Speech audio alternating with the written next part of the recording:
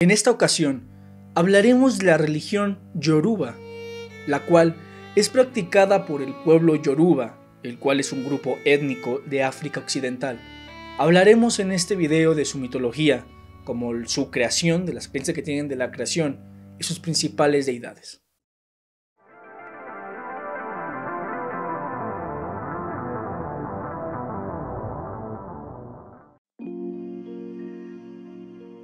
Hola, muy buenas tardes a todos y bienvenidos a un nuevo video de nuestro canal Mundus Nox. Los Yoruba tienen una mitología rica en historia, epopeyas y deidades los cuales comparten la idea de la creación. Para ellos, el tema de la creación es considerado o llamado como Olodumare. Según los relatos, en el momento de la creación se envió a los planetas recién formados la verdad, cuando llegó la verdad a la tierra, fue considerada húmeda para la vida. Después de un tiempo, enviaron varias divinidades dirigidas por Obatala para ayudar a la tierra a construir la corteza. Obatala entró a la tierra montado en un molusco, acompañado con bestias aladas y un poco de tela. El molusco cayó y llenó la superficie de agua. Poco después, las bestias aladas que se esparcieron poco a poco hasta convertirse en tierra. Después de esto se crearon las colinas y los valles. Obatala saltó a la tierra y lo nombró Ife. En ese momento la tierra fue fértil y dio origen a la vida vegetal, la cual comenzó a crecer rápidamente. Obatala tomó tierra del suelo y moldeó figuras. Mientras tanto, Olodumare reunió los gases y el polvo del espacio y provocó una explosión que se convirtió en una bola de fuego, para posteriormente enviarlo para Ife y ayudar a hornear a las figuras inmóviles creadas por Obatala. Cuando estuvieron horneadas finalmente, Olodumare lanzó el aliento de la vida para dar vida a las primeras personas de Ife, por esa razón, para los Yoruba, a Ife se le conoce como Ife Odaye, el cual refiere a la cuna de la existencia, y de esta manera fue creada la vida y el universo. Las deidades yorubas se les conoce como los orishas, que significan dueños de la cabeza. Sango es uno de los orishas más conocidos, dios del trueno y un antepasado del pueblo yoruba.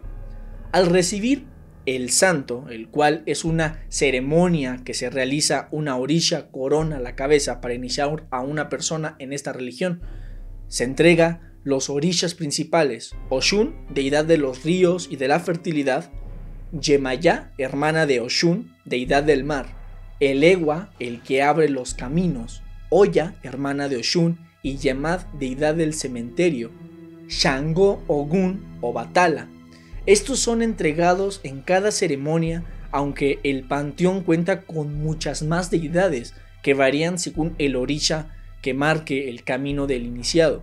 Se cree que los orishas ah, alguna vez fueron humanos, derivados de allí muchos de sus pataquís, que significan historias o relatos, en la tierra, y que después de su muerte pasaron al cielo, donde viven junto a Lofi, que, que este sería como la imagen de Dios. Son muchas las deidades de este panteón, se conoce que existen poco más de 400 orillas, todas ellas abocadas a traer estabilidad y firmeza a las personas que deciden dar sus primeros pasos en esta religión. Y bueno, aquí tenemos eh, algunas de las deidades principales de, todo este panteón yoruba, el cual eh, comienza con Abita, Aja, Babalúa Ye, Angungun, Elegua, Eshu, Ibeji, Oba, Obatala, Ogun, Oshun, Otutua, Olukun, Orunmila, Oshunmare, Oya, Shango, Yemayá, Alegayu, Yewa, Olofi, Orisha, Oko, Osain, Ochosi, Inle y Dada.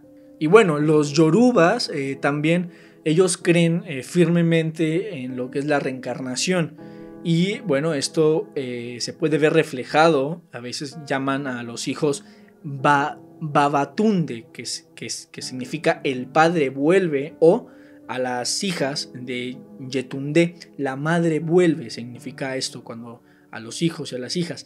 Eh, ¿Por qué? Porque se dicen que cuando nace un hijo es porque el padre o algún familiar, algún amigo, eh, bueno, reencarna en el niño. Por eso se le dice a los niños eh, Babatunde y a las niñas Yetunde, ¿no? La madre vuelve y el padre vuelve.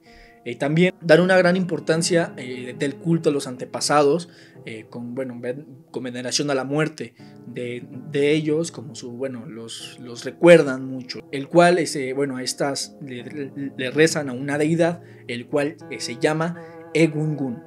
Y bueno, cuando pasó todo esto, como lo vimos con la religión vudú, cuando pasó todo esto, de los esclavos, los esclavistas que empezaron a llevar a todo el pueblo, eh, bueno, muchos pueblos, muchas personas de los pueblos de África eh, a la parte de acá de América, pues bueno, muchos nativos eh, de Yoruba fueron tomados como esclavos y fueron repartidos entre Cuba, República Dominicana, Puerto Rico, Brasil, Venezuela.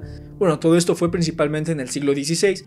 Y bueno, tras la caída del imperio Hoyo y la pérdida de esta de esta religión que se fue, bueno, se vio envuelta en una guerra civil, eh, bueno, fueron tomadas eh, estas creencias y fueron inmiscuidas y fueron, bueno, se fueron perdiendo al final de cuentas por el, por el cristianismo, ¿no? Esta religión yoruba empezó a combinarse con el cristianismo y empezaron a salir pues muchas eh, fluctuaciones de lo que fue la religión yoruba.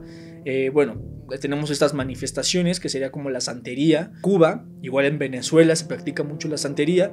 El oyutugi en Estados Unidos, el candoble en Brasil, también en Brasil tenemos el umbada, el batuque en Brasil y el lukumi, igual en, Cuba.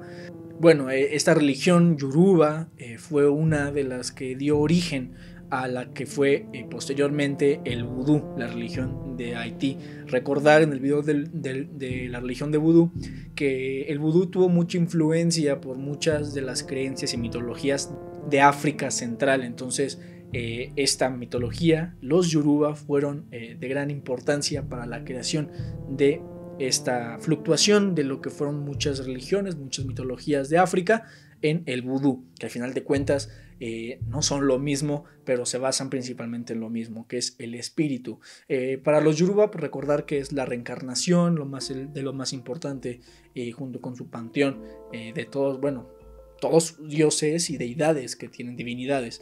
Es muy interesante visualizar cómo para ellos se creó el mundo, el universo, ¿no? Es, es, muy interesante porque después podemos ver eh, que hay muchas similitudes, y no solo entre pueblos de África, ¿no? Sino similitudes en el caso de África y irnos a la India y posteriormente hasta México, muchos de estos relatos e historias eh, se parecen. Por esta razón he decidido hacer esta, este viaje por, por las religiones. Empecé con el vudú, pero ahora, ahora con esta, la, la yoruba. Vamos a ir viendo cómo muchos de estos relatos son parecidos y es muy interesante visualizarnos en esto y ver eh, cómo pasaron las cosas, ¿no? cuál era la perspectiva de ellos. Así que bueno, esto ha sido todo por hoy, la mitología yoruba, muy interesante en su, en, en, su totalidad, en, su, en sus raíces, el tema de la reencarnación y todo, y todo lo mismo es, bastante interesante. Y bueno, si les gustó, por favor dejar un like, suscribirse al canal, compartir este video este, para que así seamos más. Y bueno, sería una, una locura llegar a 2000 suscriptores antes de que acabe el mes. Creo que sería lo mejor. Así que bueno, vamos a llegar, vamos a alcanzar esa meta de 2000 suscriptores. Creo poder. Así que por favor compartan el video. Y yo sé que podemos llegar a 2000 suscriptores. Así que bueno, vamos, a, vamos allá. Así por favor, dejar un like, suscribirse al canal compartir el video si no lo está y nos vemos en el siguiente video. Les habla su amigo Mundus Nox. Hasta pronto.